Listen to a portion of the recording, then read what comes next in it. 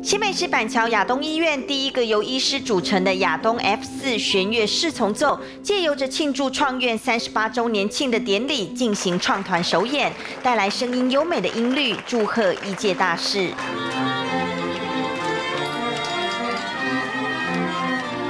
亚东医院成立三十八年，从地区医院升格为新北市第一家医学中心，占地从一点七万平扩增到三点三万平。远东集团董事长徐旭东以及亚东医院院长林芳玉等人，开启了生日礼物切蛋糕，庆贺医院喜事。那么我们医院也同样情形，呃，在数字上，我们从一万七千平的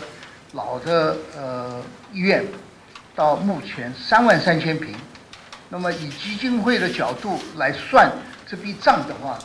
呃，医院还有很多的要进步的地方，就是这么单纯，这没有什么。你要生存，因为你旁边还有其他的医院还要将来出来竞争，所以我们以今天虽然是三十八年的这纪念日的话，要继续努力。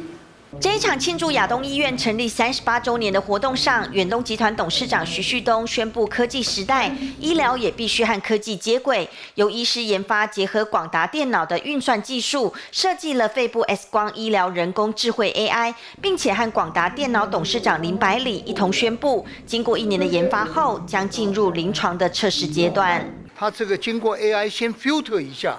那么呃重要的重病的轻的。那么重的要请医师再看一下，那么这个是一个很好的一个过程，那么使得更普遍化。我们那个亚东这边收集了一百多万个病例，由医师啊一一标注，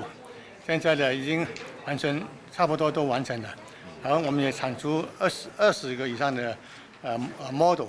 那 model 要以后进入 AI 就可以做帮忙判读二十种那个病病症。新的时代来临，医疗不只有医师的人心医术，更能透过科技进行大数据的分析、判读疾病，帮助更多的患者以求早发现、早治疗的功效。记者林丽如、吴志恒新北报道。